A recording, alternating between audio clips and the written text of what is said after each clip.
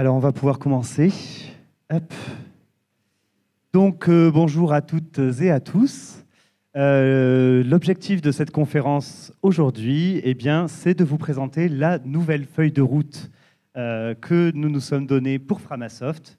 C'est une feuille de route qui va avoir lieu sur trois ans, donc de 2022 à 2025, qui s'intitule Collectivisons Internet, convivialisons Internet et dont l'objectif, donc, ce serait d'équiper des collectifs solidaires, on va dire, on va définir ça un peu plus, un peu plus longuement ensuite, euh, d'outils web à la hauteur de leurs valeurs. Euh, J'ai un avertissement à vous donner, c'est que vous allez à un moment donné ne plus m'écouter, et c'est parfaitement normal, parce qu'il y a des illustrations absolument magnifiques. Et donc là, il va falloir blâmer David Révois, et je vous recommande d'aller sur son site Paper and Carrot, euh, enfin papercarrot.com, euh, où vous pourrez trouver toutes ces illustrations et son webcomic et bénéficier comme ça de, trop de beauté. C'était très difficile pour moi de préparer les slides, je ne pouvais pas me concentrer. Donc moi, c'est Pouillou. Euh, je suis là en tant que co-directeur de Framasoft, mais quand je regarde un petit peu tout ce que j'ai pu faire, ouais, ouais, là, il faudrait dire que je suis vert, du coup. Euh, mais voilà, c'est bon, bah voilà, je, je, fais plein de choses dans ma vie. Euh, ce qui est intéressant, je trouve, euh, dans mon profil et du coup dans, dans, ma place à Framasoft et dans ce que j'essaie d'apporter dans cette communauté du libre, c'est que je ne suis pas du tout dev, je ne suis pas du tout admin 6. moi, si vous me mettez devant un serveur, je fais pleurer des administrateurs système. Il vaut, vaut mieux pas, hein, voilà, parce que je les aime bien hein, quand même, ce sont mes amis.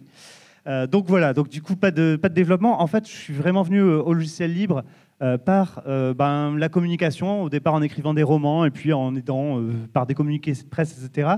la conférence précédente, hein, Angie parlait de, des différentes manières d'aider des chatons, d'aider des structures, les aider en termes de communication et de, de leur aider à, expliquer ce qu'ils et elles proposent et font, c'est ça marche et, vous avez une place. Bon, mais c'est pas moi qui suis important, c'est Framasoft. Donc voilà, on est là pour vous présenter ce qu'on compte faire sur les prochaines années. Framasoft est donc une euh, association loi 1901. Euh, ça, c'est très important, vous allez le voir pour la suite, parce que c'est une identité à laquelle nous tenons beaucoup. Euh, il y a vraiment une militance associative chez nous. Framasoft, l'objet social de Framasoft, de l'association, jusqu'à longtemps a été association de promotion du logiciel libre et de sa culture. Et en 2021, nous avons, lors d'une assemblée générale, changé l'objet social de Framasoft qui est aujourd'hui une association d'éducation populaire aux enjeux du numérique et des communs culturels. Ça ne veut pas du tout dire renier le logiciel libre, ça veut dire qu'aujourd'hui, le logiciel libre est un socle, une base, mais que le cœur, l'importance, c'est l'éducation populaire et euh, les communs numériques euh, et les communs culturels, pardon. Donc euh, voilà, cette association est financée quasi exclusivement par vos dons. Euh, on verra à quel point le exclusivement est important. Euh, et je tiens vraiment à ce que vous reteniez ce chiffre. Nous sommes une petite association de 37 membres. Alors, toutes les petites associations de 37 membres n'ont pas la chance, comme nous, d'avoir 10 salariés. C'est beaucoup. Mais vous connaissez plein de petites associations de 37 membres autour de vous. Je suis sûr qu'il y a un club de théâtre ou de karaté. Euh, enfin voilà. Donc euh, voilà, c'est juste pour dire euh, à quel point humainement on n'est pas à une énorme taille, parce qu'après je vais vous parler un peu de ce qu'on fait. Euh, très rapidement, je me connais, j'ai tendance à parler de ce qui était bien, mais tout n'était pas bien, donc tout n'était pas tout rose. je vais forcément effleurer les sujets parce qu'il y a beaucoup de choses à dire dans cette conférence. voilà, donc si vous avez des questions, n'hésitez pas à le faire à la fin des questions sur euh, cette conférence et cette feuille de route. Et si vous avez des questions plus particulières sur vous, sur ce que vous proposez, sur ce que nous pourrions faire, surtout n'hésitez pas à venir nous parler. On adore papoter, on a un stand et on est là pour ça. Il y a plusieurs membres de l'association qui sont là euh, au Capitole du Libre et dans la salle. Donc vraiment, nous sommes là pour ça. Euh, n'hésitez pas. L'idée de cette conférence, c'est donc de vous expliquer cette nouvelle feuille de route. Pour ça, j'ai envie de prendre vraiment un temps d'expliquer le chemin parcouru ces dernières années par Framasoft, parce que si on a fait ce choix sur cette euh, feuille de route, si on a vraiment des raisons, un, pourquoi, une, volonté stratégique et politique euh, dans cette feuille de route, et, du coup qui, dont découlent euh, des actions très concrètes, donc ça c'est les trois parties dont on va parler, c'est parce qu'on a parcouru un certain chemin.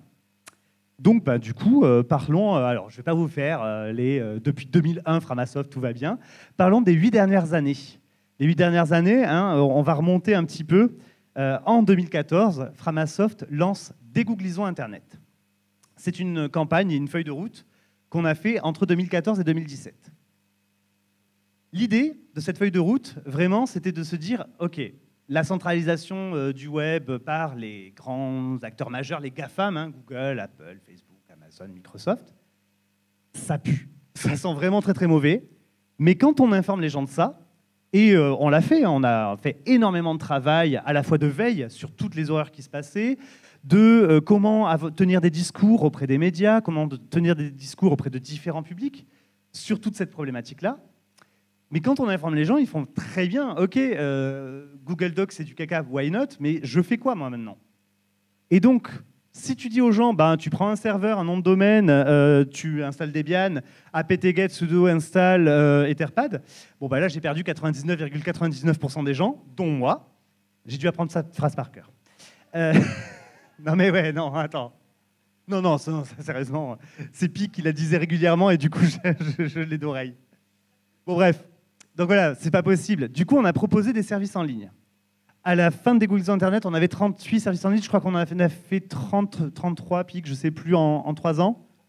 37 en 3 ans, voilà, plus d'un service par mois ou un service par oui, non, plus d'un service par mois. Euh, on a tendance à rigoler avec Pig, 30 services, 30 kilos, quoi. Enfin voilà, c'est non, c'était pas rien comme boulot, euh, voilà. Et l'idée, c'était pas de, que tout le monde parte de chez Google pour aller chez Framasoft. L'idée, c'était aussi de travailler à de l'essaimage, à de la décentralisation.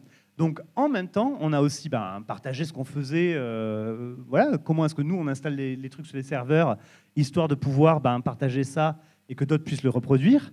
Mais aussi, il y a eu euh, à ce moment-là le fait d'initier le, collectif Chaton, euh, dont a parlé Angie dans la conférence précédente, collectif des hébergeurs alternatifs, transparents, ouverts, neutres et solidaires, histoire que ben, quand on est une petite épicerie associative qui fait du numérique bio, on n'a pas envie de devenir un hypermarché, c'est pas nos valeurs. Donc plutôt que de grossir, on va faire un réseau d'AMAP. Voilà. Et donc c'est comme, ça qu'on a initié ce collectif. Sur ces trois ans, on a appris pas mal de choses. J'en ai, extrait quelques leçons juste pour ici.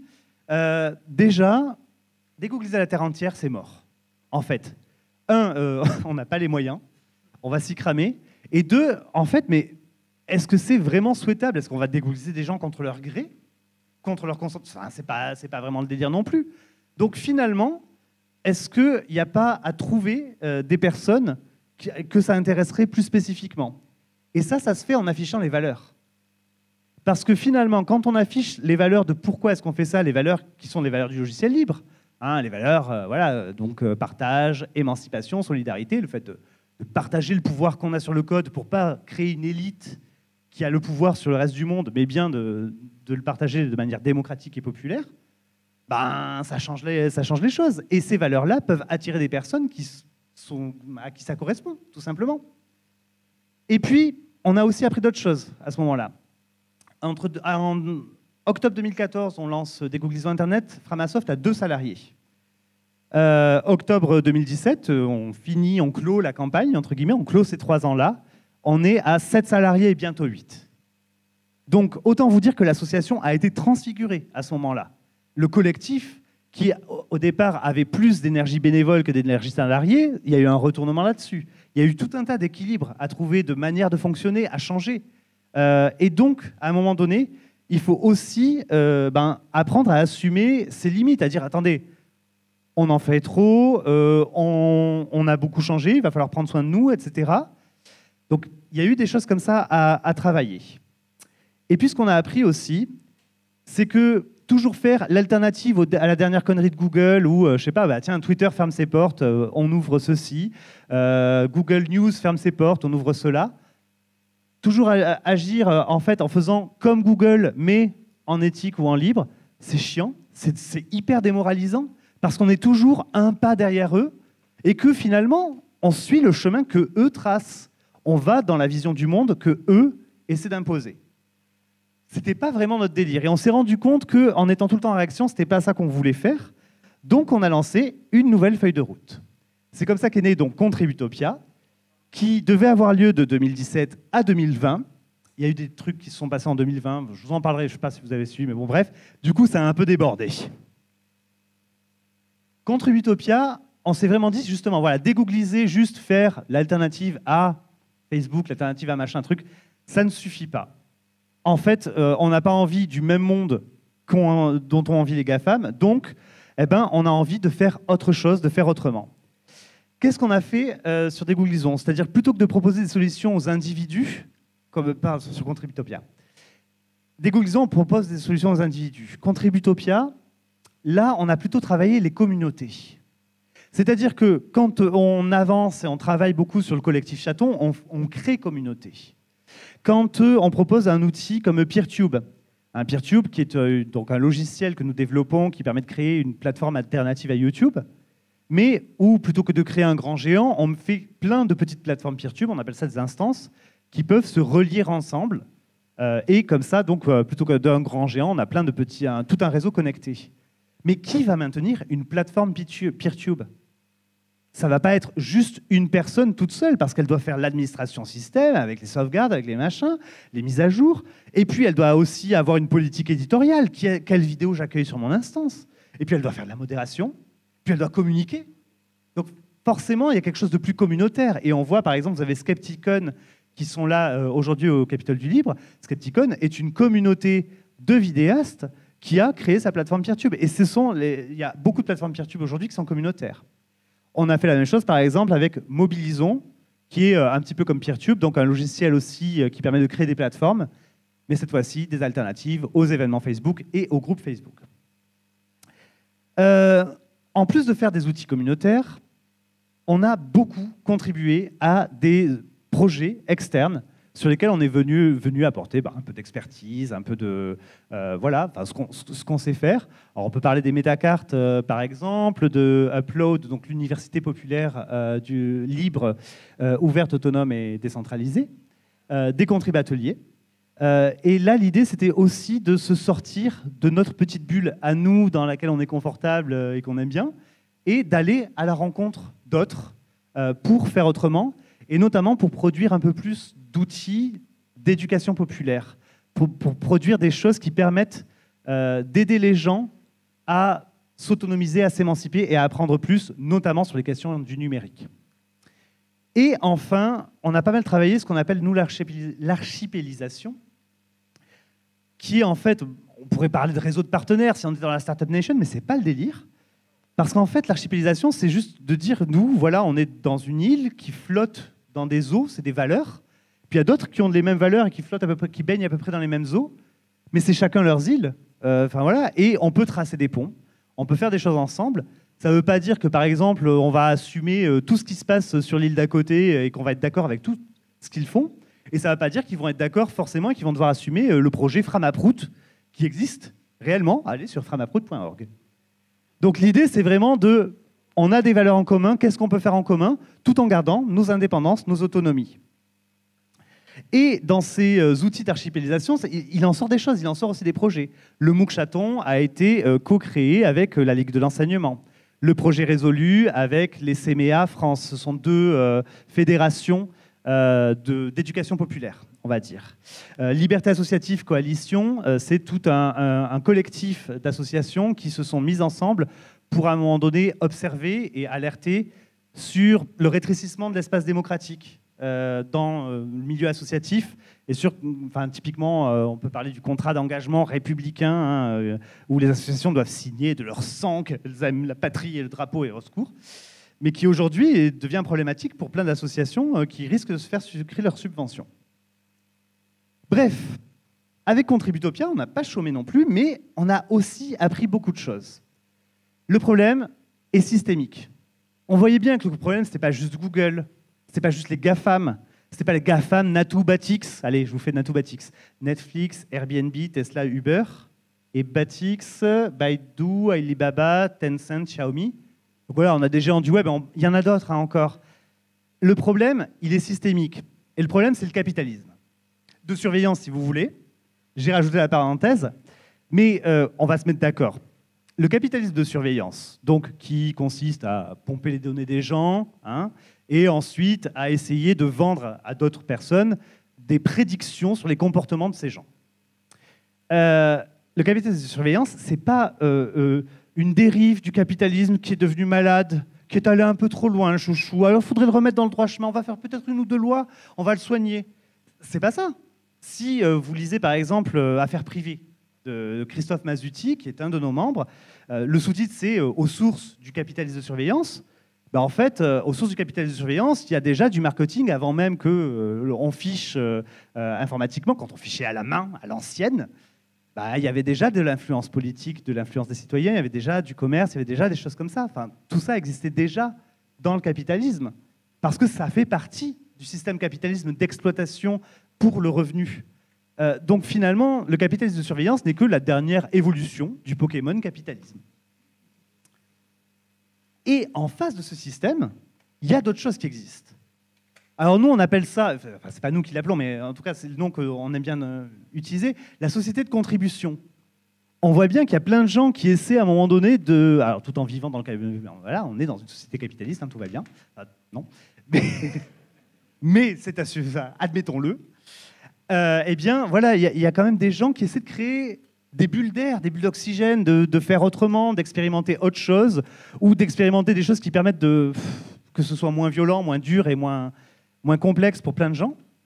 Et donc ça, on appelle ça la société de contribution. Et on voit bien que ces personnes-là, quand je parlais de valeurs, bah, elles partagent les valeurs du libre et principalement des communs, ces valeurs de partage, d'émancipation, de respect, de solidarité. Bah, voilà, on est totalement dedans. Donc en fait, nous avons déjà plein d'alter-ego qui existent. On a appris des choses aussi un peu plus euh, bah, difficiles et complexes euh, à, à, avaler parce qu'on est là, ouais, la contribution, c'est trop bien, etc. Non, mais en fait, contribuer, c'est dur. C'est hyper compliqué.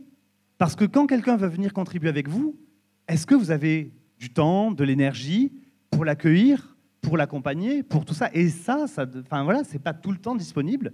Et il faut arriver à l'assumer. De même, quand vous, vous allez contribuer avec d'autres, sur des projets des autres, qui sont super bien, super sympas, mais on se kiffe.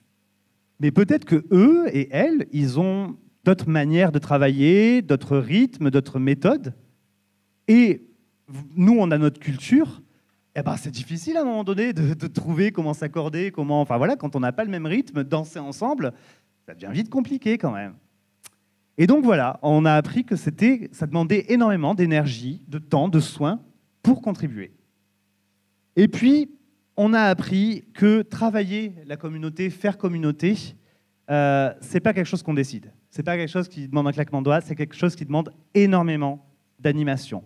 Euh, NJ en parlait très justement sur la conférence, c'était le sujet de ta conférence juste avant, que vous pourrez voir en replay si vous nous regardez en vidéo. Coucou Internet.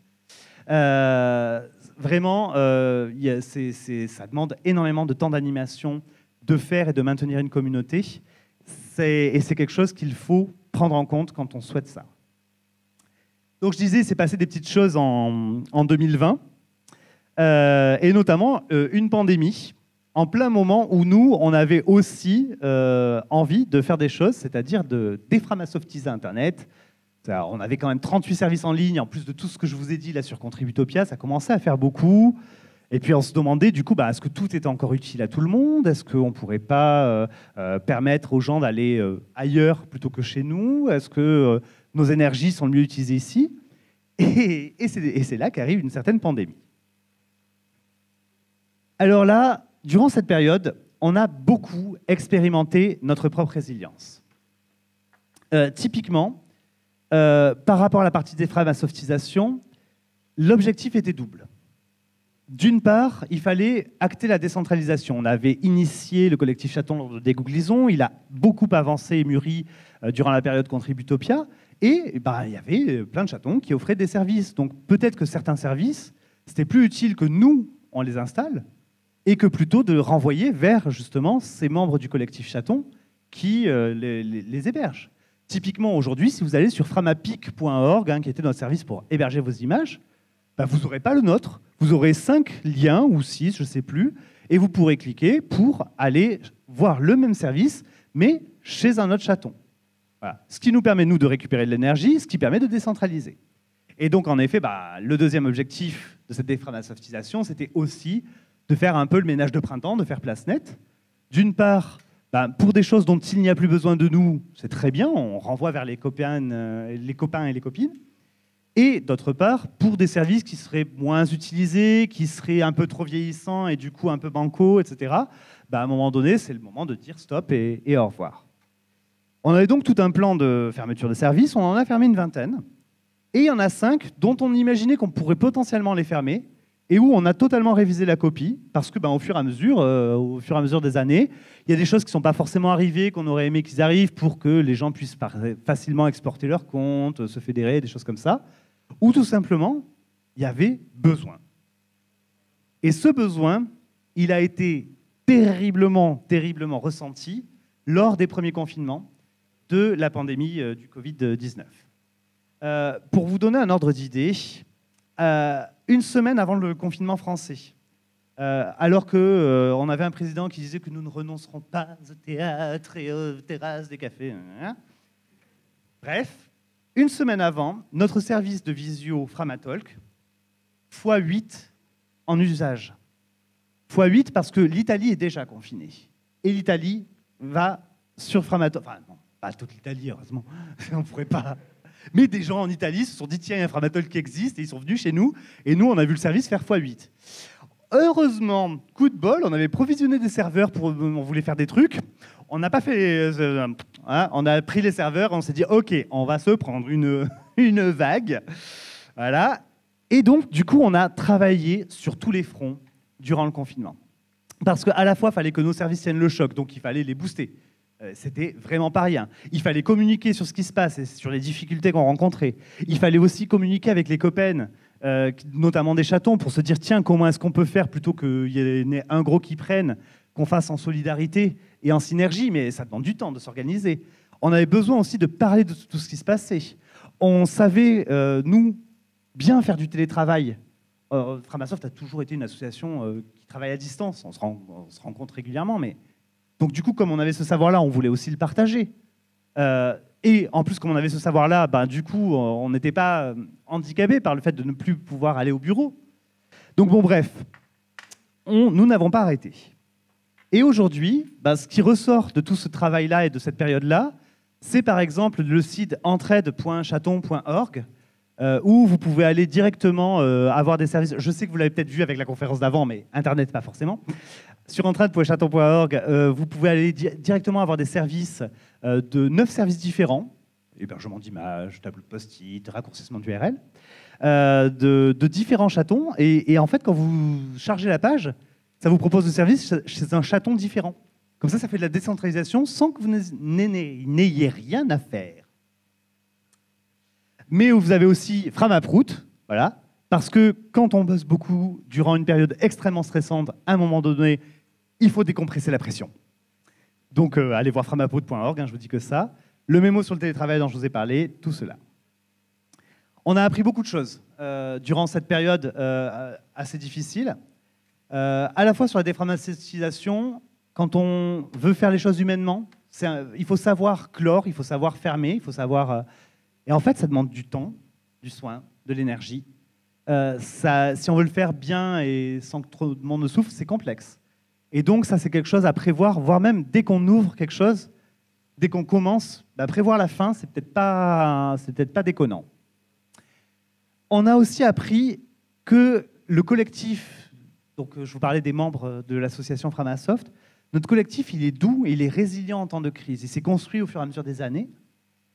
Et ça nous a conforté, par exemple, sur des choses euh, quand on, on, a régulièrement annoncé que, tiens, on ne voudrait pas trop grossir comme association, on voudrait pas beaucoup plus de membres, on voudrait pas euh, doubler les salariés, etc. Il y avait des gens qui nous disaient, mais voilà, euh, demander plus de thunes, embaucher plus de monde et dégogliser plus de monde. Yeah Bah ouais, mais du coup, euh, une équipe de 10 personnes, une équipe de 20 personnes, c'est pas la même.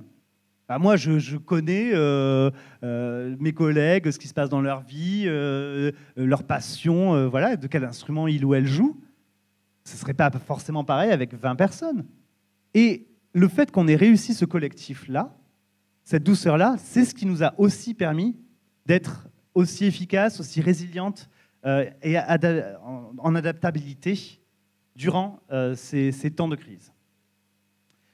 On s'est aussi rendu compte que nos valeurs avaient beaucoup évolué avec euh, tout ce travail, toutes ces années, qu'on avait besoin d'éclaircir tout ça et de l'annoncer plus clairement parce que, enfin voilà, euh, on se fait une image des gens et cette image en général on la garde. Ben, ça peut être la même chose. Il y a plein de gens qui ont une image de Framasoft qui date peut-être de quelques années. Donc à un moment donné, c'est peut-être important de dire voici quelles sont nos valeurs. Et puis on s'est rendu compte que quand on n'a pas de plan sur trois ans, c'est moins drôle. Hein. non, mais on aime bien avoir ce, ce, truc où on a un cap, on a un objectif. Vraiment, c'est quelque chose qui nous, nous motive. Et euh, il y avait un manque dans l'association de dire, bon, on continue à faire comme hier Ouais. Bah non, on n'a pas envie de ça, on a envie de changer le monde, enfin, tout simplement. Euh, et puis, une chose qui est vraiment Enfin, je sais pas, enfin, je pense que là, tout le monde un peu l'a, ressenti durant euh, ces confinements et quand on a été énormément en ligne pour être en lien. Il y a eu plein de personnes qui ont dit mais moi je veux bien changer mes habitudes, euh, sortir de, je sais pas, de Google, de Skype, de machin, mais, mais j'ai besoin d'un humain.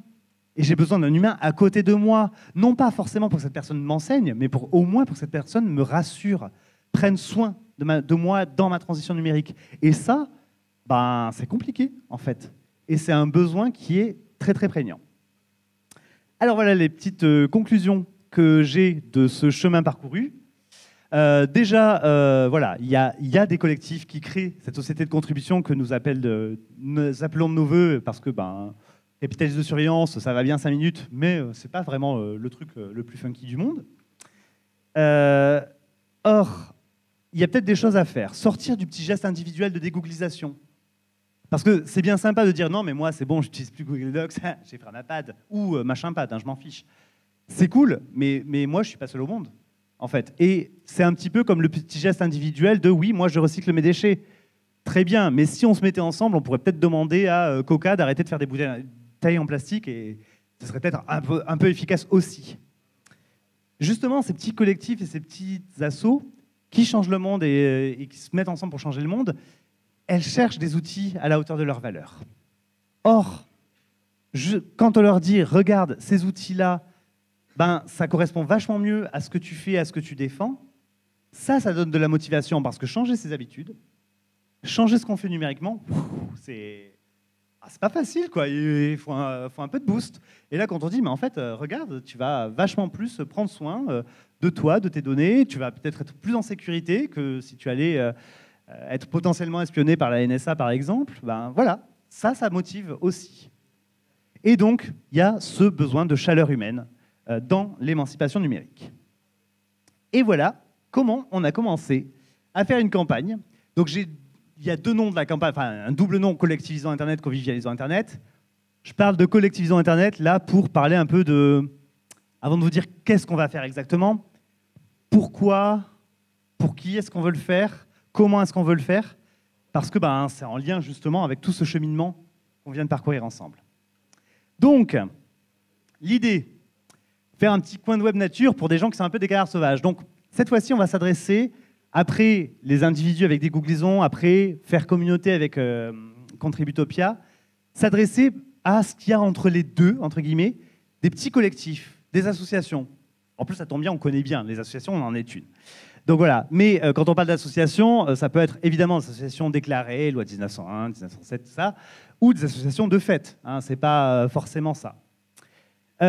évidemment, c'est pas forcément, enfin voilà, on va pas forcément s'intéresser à tous les collectifs. Moi, l'association du Lions Club va m'intéresser peut-être moyen, parce que encore une fois, on est sur cette idée de trouver des gens qui partagent nos valeurs et qui essaient d'influencer le monde à leur manière dans ces valeurs-là bah, de progrès, de justice sociale. Euh, voilà. Et donc de, sortir, encore une fois, de, ces problèmes euh, du capitalisme de surveillance, ou en tout cas de créer des bulles d'oxygène et d'expérimenter. Euh, l'idée aussi, c'est que ces collectifs ont déjà fait un travail important, c'est le travail interne de la solidarité. Ce sont des gens qui se connaissent, ce sont des gens qui se parlent, qui essaient de faire des choses ensemble, qui s'apprécier. Alors oui, je sais très bien comment on s'engueule dans les assauts, il n'y a pas de problème, j'en ai fait plus d'une. Donc euh, voilà, il y, a forcément, il y a toujours des prises de bec, des dramas, des choses comme ça, mais, mais il y a aussi justement une idée, une culture du collectif. Et cette solidarité à l'intérieur des collectifs, ça peut être un levier important. Ce n'est pas une baguette magique, mais c'est un levier sur lequel on peut à un moment donné essayer de jouer. Et puis donc, du coup, nous, notre rôle dans tout ça, qu'est-ce qu'on veut faire? Ben euh, voilà, nous, euh, on va pas savoir euh, sauver les arbres, arrêter la construction de l'autoroute. Voilà, c'est pas notre compétence. si à un moment donné on me demande de se battre contre une telle nouvelle loi scélérate, moi en juridique j'y connais que dalle. Par contre, outiller des gens, numériquement, on sait le faire. Que ce soit outillé par des services, euh, mais aussi outillé euh, par de la connaissance, par des outils qui permettent de, s'enseigner les choses les uns les autres, par une conférence. C'est aussi un outil, une conférence. Donc voilà, nous, on a envie d'outiller cette société de contribution. Et alors, comment est-ce qu'on va faire ça? Euh, ben, Du coup, on a au fur et à mesure une méthode qui s'est un peu faite. Et l'idée, ça va être de faire de manière euh, récursive, comme ça, en y allant plusieurs fois, en remettant plusieurs fois le même ouvrage, la même action euh, sur le, tapis. et donc, on va proposer au départ un projet qui n'est qui, est pas fini, qui est très vert, la peinture est fraîche, hein, voilà. Même s'il est imparfait, c'est OK de le proposer.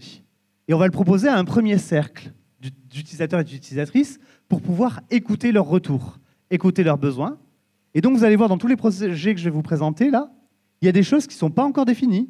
On a des idées, mais qui sont encore floues. On ne sait pas exactement ce que l'on va faire, parce que ce que l'on va faire, on va le décider en fonction des retours que nous aurons. Euh, et du coup, bah, derrière, on améliore.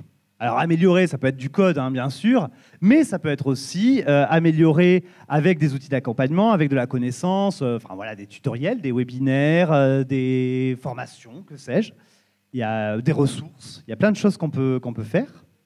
Et avant de proposer à nouveau, pensez à relier.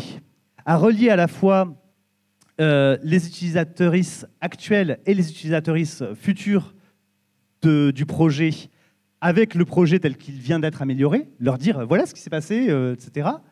Mais aussi relier les bénéficiaires entre elles et entre eux. Enfin, en fait, créer du lien, ça, peut aussi enfin, faire commun. Créer en sorte l'outil qui permet de se dire tiens, on utilise quelque chose ensemble. Comment est-ce qu'on peut peut-être partager des pratiques, partager des usages, partager des informations? Bref, j'ai fait assez de teasing, ça va? Je vous propose de voir un petit peu les projets hein, que nous allons faire. Je, m'arrête une microseconde. Vous avez vu la tortue. Entre nous, on l'appelle Atwin. Les personnes qui aiment le disque monde comprendront. Bref, nous avons des actions que nous voulons mettre en place durant ces trois années de campagne. Euh, je vous donne les noms hein. Emancipasso, Framaspace, EcoNetwork et pire, PointTube. Alors, allons-y. Emancipasso. Emancipasso, alors il y a eu une conférence aussi hein, que je vous encourage à regarder euh, en replay euh, dès qu'elle sortira, est un projet qui est fait en collaboration avec AnimaFac et dont l'objectif, c'est donc de favoriser l'émancipation numérique du monde associatif. Ça veut dire quoi? Ça veut dire, il y a aujourd'hui plein d'associations qui disent Hey, je voudrais bien trouver un hébergeur pour mes besoins, tout ça. Il y a plein de chatons qui font Hey, je suis hébergeur. Mais le lien, on voit bien qu'il y a un truc qui bloque. Donc on se dit Tiens, et si déjà nous, euh, on connaît bien les, des hébergeurs associatifs, enfin des hébergeurs pardon, de services, tiens, si on leur donnait les clés pour accompagner le mieux les associations, pour leur euh, faire comprendre leurs besoins, pour leur faire comprendre comment euh, trouver des financements pour payer des services web alternatifs, parce que c'est pas gratuit tout ça, euh, pour leur faire comprendre comment euh, euh, conseiller et accompagner dans les, outils et la, transition vers les outils. Donc voilà. Donc une formation qui aura lieu en janvier. D'ailleurs, si vous voulez vous inscrire, il faut le faire très très vite hein, là. Mais du coup, une formation qui aura lieu en janvier et cette formation, tous les supports de formation et puis on va essayer de la filmer et tout ça pour la mettre en commun dans un MOOC c'est le MOOC Chaton. Il y avait déjà un premier module euh, sur mooc.chaton au pluriel.org. Un premier module euh, qui était plus là, voilà, Internet, pourquoi et comment reprendre le contrôle, c'est-à-dire euh, comment est-ce qu'on en est arrivé là, cet Internet un peu pourri, et quelles sont les pistes de solutions. Et là, ce deuxième module ben, donc, permettra d'apprendre à accompagner les associations dans leurs besoins de transition numérique. Et puis, ben, ce qui serait bien, c'est qu'une fois qu'il y ait des, hébergeurs, alors qu'ils ne sont pas forcément. Euh, enfin, la formation est ouverte à d'autres membres que de membres du collectif Chaton. Hein. Une fois qu'il y a des hébergeurs qui seront formés à tout ça, ben, ce serait bien que les associations puissent les trouver. Donc, créer un site pour pouvoir lister ces hébergeurs euh, et euh, que les associations puissent les trouver. Et derrière, ben, aller parler aux associations, hein, faire un peu de communication auprès d'elles pour leur dire Hey, maintenant, si vous cherchez des besoins, c'est là. Autre projet, là aussi, il y a une conférence euh, de, PIG sur la question que je vous encourage à regarder. Framaspace. Alors, Framaspace, c'est probablement le projet le plus gros et le plus ambitieux, je ne vais pas dire cette campagne, de Framasoft.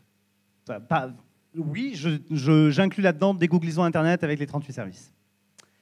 Euh, Framaspace, je ne vais pas pouvoir je vais faire en entier, vraiment regarder la conférence.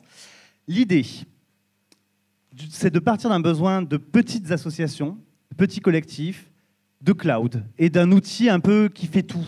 C'est-à-dire où vous allez pouvoir partager vos fichiers, mais aussi faire de la visio, mais pourquoi pas euh, synchroniser vos agendas et puis faire un agenda euh, pour l'assaut, euh, et puis vos contacts aussi, et puis créer des notes ou des outils d'organisation. Et donc, on va offrir, donc, sur la base de l'outil Nextcloud, 40 gigas et un espace, je ne sais pas, mon association.frama.space.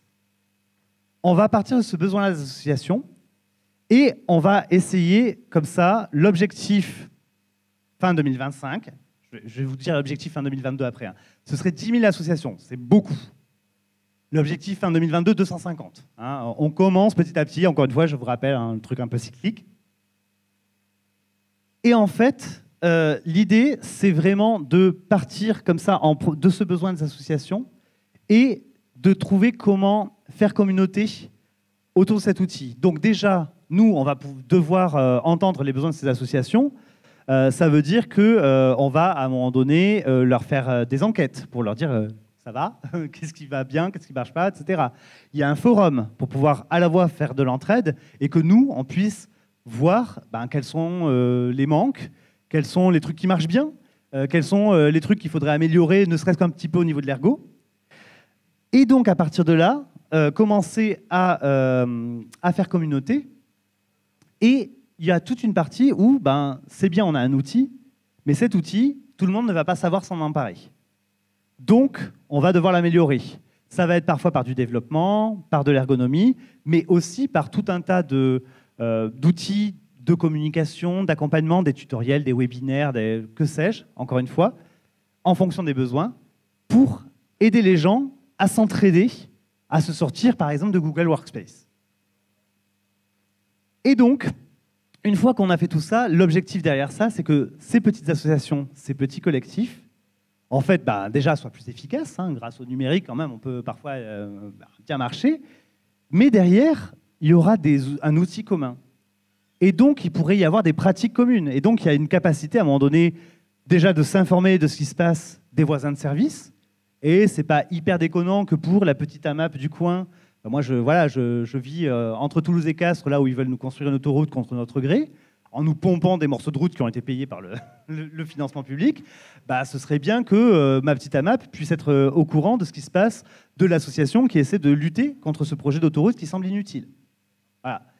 Bah, là, là, ce serait l'occasion, vu qu'on aurait un outil commun. Ou de même, à un moment donné, pouvoir, si telle association trouve une super méthode pour faire une AG, je ne sais pas, qu'elle puisse partager euh, cette méthode et ces outils dans un dossier avec les autres associations qui le voudraient. Donc voilà, il y a plein de choses qui sont potentielles euh, avec Framaspace. Et euh, donc, ouais, 10 000 comptes d'ici 3 ans, vraiment, c'est un véritable défi technique. Ensuite, EcoNetwork. Là, c'est un projet qui est européen et qui est en collaboration avec, enfin surtout qui est organisé par les CMA France. Donc CMEA qui est euh, une fédération euh, d'éducation nouvelle. EcoNetwork, ça veut dire Ethical Commons Humans and Open Source Network. Ouais, c'est plein de jolis mots et on les aime. Euh, qu'est-ce que ça veut dire en fait? Ça va être cette, association européenne de cinq pays d'Europe différents, parce qu'il y en a deux françaises, deux belges. et ces associations ont tout en commun le fait d'accompagner des citoyens et des citoyennes éducation populaire, éducation nouvelle, action citoyenne. Mais voilà, il y a cet accompagnement qui se fait. Et l'idée, c'est de se dire, tiens, si on essaie d'ouvrir un peu nos chakras hors de nos frontières, hors de notre culture, hors de notre langue, nos alter ego dans d'autres pays d'Europe, quelles sont euh, les choses qui marchent bien pour euh, changer ces pratiques numériques à soi et puis essayer de changer les pratiques numériques des personnes euh, auprès de qui on intervient? Quels sont les trucs qui ne marchent pas du tout? Euh, quelles sont les différences euh, entre les lois italiennes et les lois croates sur l'hébergement de services? Est-ce qu'à un moment donné, on peut pas, enfin voilà, peut pas trouver des choses? Est-ce que c'est possible de créer un réseau chaton en Allemagne? Est-ce que ça n'existe pas déjà? Donc voilà, l'idée c'est de faire des visites d'études une première année dans chacun des pays où on va travailler ces sujets et échanger énormément ensemble pour mieux comprendre le vécu de chacune de ces associations. Et dans un deuxième temps, une deuxième année, donc 2023, euh, visite d'études, 2024, eh bien, c'est bien de nous échanger d'en retirer comme ça plein d'informations, mais si c'est nous qu'on les garde, ça ne sert à rien, on est d'accord. Là, l'idée, ça va être de faire des communs et de faire des ressources pour derrière qu'elles soient réutilisables et appropriables par plein d'autres associations dans les ressources, il y, a, déjà plein de choses qui sont prévues, mais une cartographie, par exemple, euh, des acteurs et actrices de, l'émancipation numérique euh, sur les, différents pays euh, concernés. Il peut y avoir aussi, par exemple, une, liste des ressources pour accompagner les gens dans leur transition numérique. voilà, on parlait des métacartes tout à l'heure, ou du guide résolu hein, qui aide à, à accompagner dans la transition numérique. Ça pourrait faire partie de cette liste des ressources. Donc voilà, euh, du coup, on va passer au projet suivant, mais je vais boire un coup.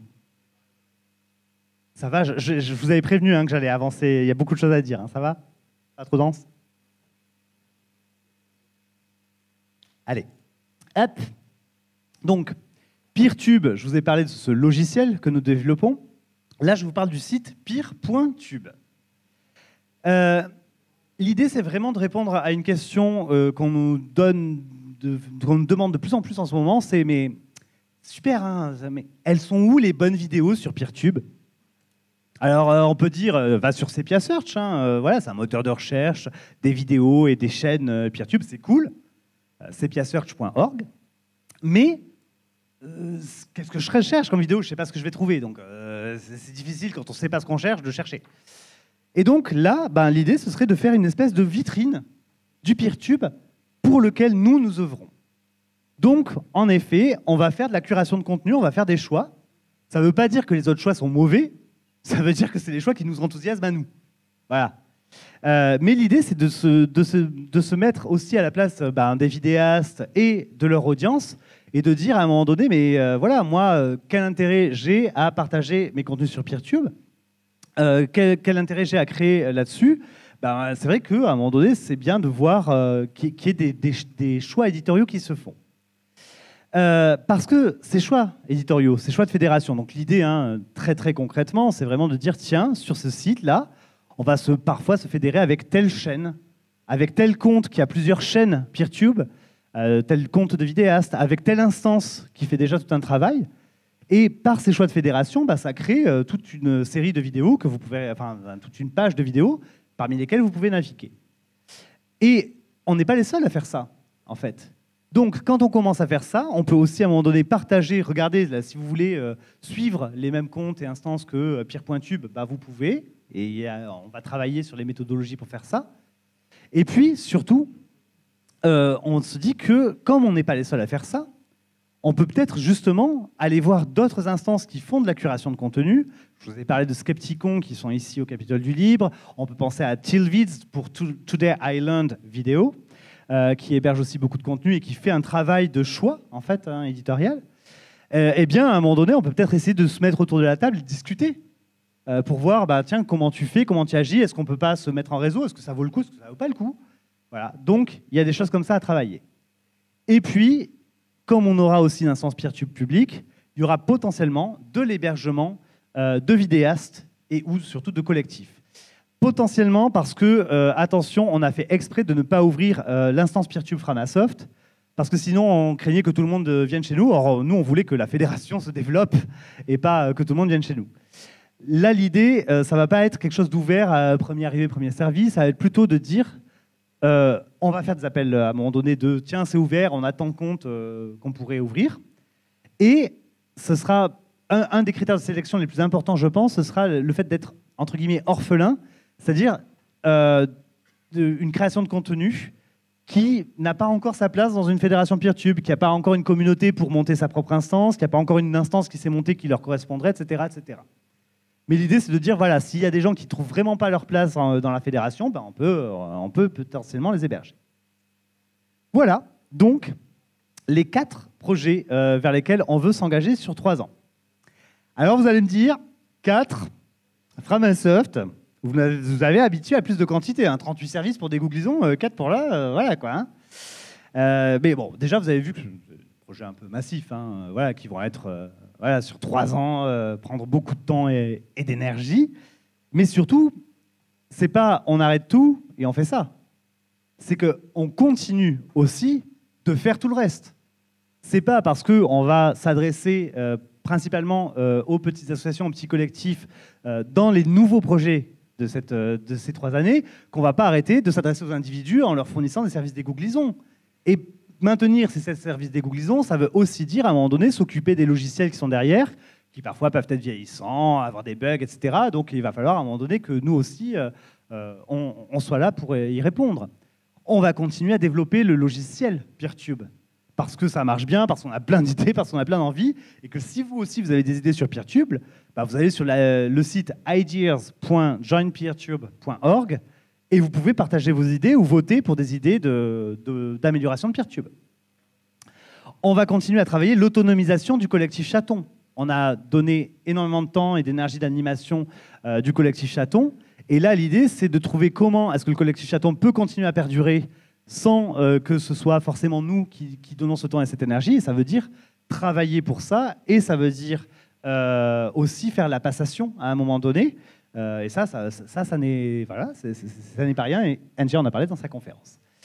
Euh, on veut aussi continuer de, de, de, mener à maturité Mobilisons. Mobilisons vient de passer euh, en V3 là en début de mois.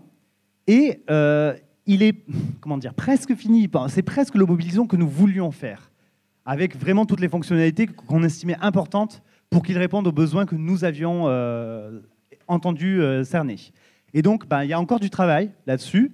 Et euh, évidemment, on veut continuer euh, à le faire. Euh, notre maison d'édition, à l'époque, ça s'appelait Framabook. Le projet a complètement muté. Ça s'appelle désormais Des livres en commun. Eh bien, on veut continuer à produire des communs littéraires. Parce qu'à un moment donné, les imaginaires positifs et les imaginaires des communs, il y a besoin de travailler dessus. Évidemment, on adore travailler comme ça en partenariat avec plein de monde, donc on veut continuer l'archipélisation. Cette université populaire du libre, autonome, euh, ouverte, autonome et décentralisée, on fait exprès de pas trop trop en parler et de pas trop trop la définir parce qu'on a envie que ça se forme un petit peu euh, en étant libre de dire d'annoncer déjà ce que ça va être. On a envie que ça prenne la forme, que ça, ça devienne, mais on continue à travailler dessus et il y a régulièrement des contenus qui sont ajoutés à Upload aujourd'hui. Et puis euh, évidemment, voilà, on adore venir se voir, partager des choses, faire des conférences, essayer de partager aussi des, choses via le Framablog, de, de partager des morceaux de savoir, des, opinions, des opinions parfois qui ne sont pas les nôtres aussi. Donc voilà, tout ça, c'est énormément de temps, de travail, d'énergie, et ça coûte des sous. Voilà, donc we need coins, coins, pas vrai. Euh, Framasoft est financé, je vous ai dit quasi exclusivement par les dons.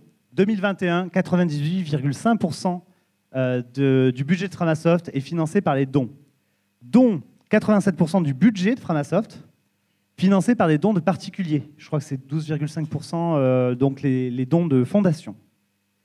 Euh, ce modèle économique, surtout dans des périodes où c'est un peu plus compliqué, parce que tiens, le prix de l'énergie, l'inflation, ce genre de choses, même s'il est bancal, il, reste important à nos yeux parce qu'il nous offre vraiment beaucoup de liberté, beaucoup d'indépendance, de pouvoir faire ce qu'on veut, de pouvoir, pendant une pandémie, à un moment donné, euh, tout changer et se concentrer à répondre aux besoins qui, arrivent là en temps de crise. Donc voilà. J'ai regardé ce matin, euh, nous en sommes, nous avons besoin donc de 200 000 euros pour euh, boucler le budget de l'année et faire tout ce qu'on veut faire en 2023. nous en étions à 44 000 euros ce matin. Donc voilà, donc je tiens à vous rappeler que si vous le pouvez, vous le voulez, faites un don à Framasoft, puisque en plus, bah voilà, il y a la possibilité de déduction fiscale au niveau de l'impôt sur le revenu, ce qui fait qu'un don à 100 euros revient après des déductions fiscales à 34 euros. Donc voilà. Euh, j'ai beaucoup cancané, non? J'ai pas mal parlé de, de, canard. Je vous conseille d'aller sur soutenir.fasos.org où vous avez la présentation de toute cette campagne qui est euh, résumée. Mais en plus, si vous avez, allez sur le cadre orange où il y a marqué collectivisons Internet, convivialisons Internet, vous avez un petit œuf et un petit canard en emoji. Et je vous conseille de cliquer dessus parce que vous allez voir du coup la version canard de cette campagne parce que collectivisons Internet, convivialisons Internet, c'est un peu long. Donc pour nous, ben, on a un petit nom entre nous, c'est Coin Coin, tout simplement. Merci beaucoup.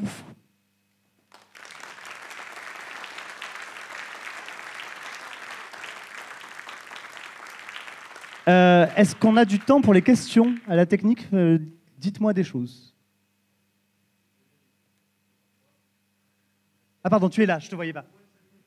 Cinq minutes, eh ben, allons-y du coup s'il y a des questions.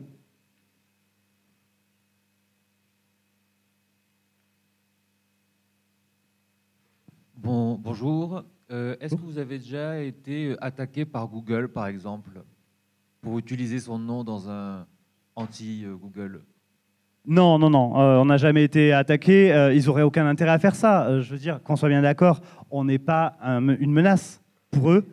À aucun moment donné, on est peanuts, qu'on soit bien. Enfin, voilà, le budget annuel de Framasoft, ça doit être quelques secondes de leur chiffre d'affaires annuel. On est peanuts pour eux. Et s'ils nous attaquaient, alors là, mais on ferait un ramdam de tous les diables, ils y perdent. Ils savent très bien qu'au niveau de la communication, ce serait un narratif, on va dire David contre Goliath, ils y perdent. Donc ils n'ont aucun intérêt à faire ça, évidemment.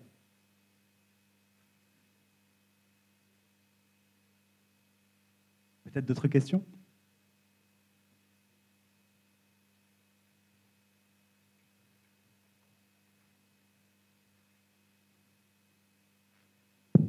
Euh, En haut, je suis prêt avec mon micro. Là. Ah, ok. Euh, alors d'abord, avant ma question, je voulais vous féliciter pour votre charte graphique et les illustrations qui, euh, je trouve, sont vraiment absolument géniales et vous mettent super en avant. Merci. Euh, et, David.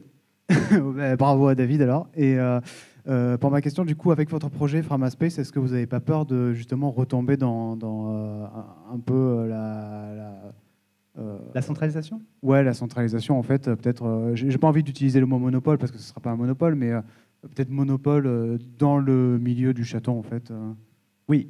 Alors justement, ça c'est quelque chose vraiment que, sur lequel on a beaucoup réfléchi en amont quand on a essayé de concevoir le projet, parce que clairement, l'objectif n'est pas du tout de concurrencer les chatons.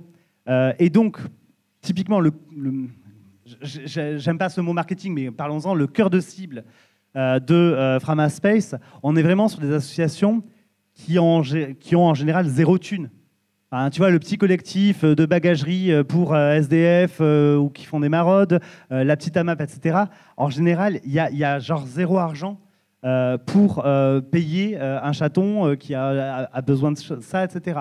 Donc l'objectif, c'est vraiment de faire en sorte que on soit sur des bénéficiaires qui ne pourraient pas aller chez des chatons ou qui, pour qui la marche aller vers les chatons serait trop élevée et d'être cette marche intermédiaire. Ça veut dire aussi avoir réfléchi le projet pour faire en sorte qu'il y ait des facilités d'export du compte de mon association euh, pour l'importer ensuite peut-être chez un hébergeur. Si mon, association grandit, que ses besoins sur Framaspace, enfin sur le Nextcloud grandissent, bah, à un moment donné, bah, peut-être que notre outil n'est plus adapté à tes besoins et que tu vas pouvoir euh, migrer. Donc on a vraiment réfléchi à ça.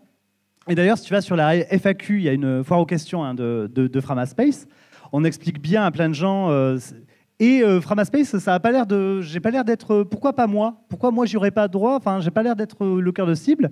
Et où là, on explique aux gens, bah, en fait, justement, si, si, si tu ne te sens pas dans le, cœur de ce, ce qui, dans les bénéficiaires de Framaspace, il y a peut-être d'autres structures qui répondent à tes besoins.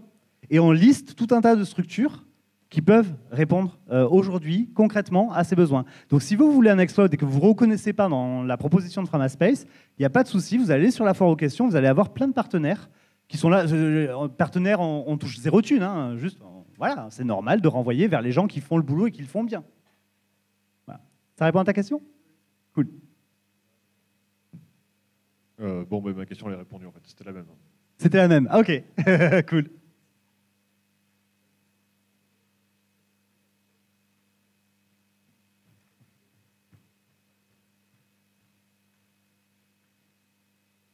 Dans le projet Framaspace, quand tu parles de petites associations, est-ce que vous avez défini un seuil au niveau, euh, je sais pas, euh, personnel, équivalent temps plein, budget, euh, quelque chose comme ça? Alors, pas exactement un seuil. Il y a un seuil qui est très très clair, c'est euh, l'espace Framaspace n'aura pas plus de 50 comptes.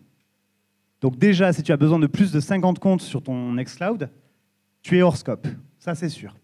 Après, nous aussi, dans le formulaire d'inscription, euh, on demande des renseignements, par exemple aussi sur le budget annuel, sur des, choses comme ça.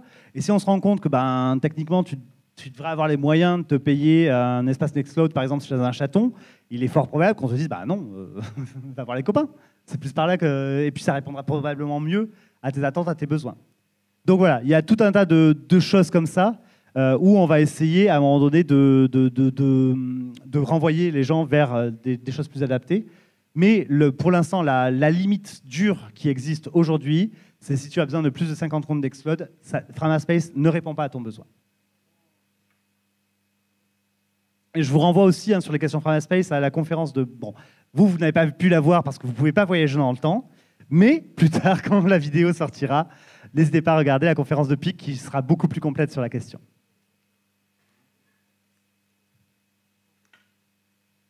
C'est bon pour tout le monde? Ben, Je me permets juste de rappeler qu'aujourd'hui, on est le 20 novembre, c'est la journée du souvenir trans. Donc voilà, c'est juste avoir une pensée pour euh, nos frères, sœurs et adelphes trans qui ont été tués, qui se sont suicidés, qui ont été agressés parce qu'ils et elles sont ce qu'elles sont. Donc voilà, euh, n'oublions pas, et euh, ce sont euh, nos frères et nos sœurs, il y a une espèce d'intersection des luttes qui est peut-être à défendre, ne les oublions pas. Merci beaucoup.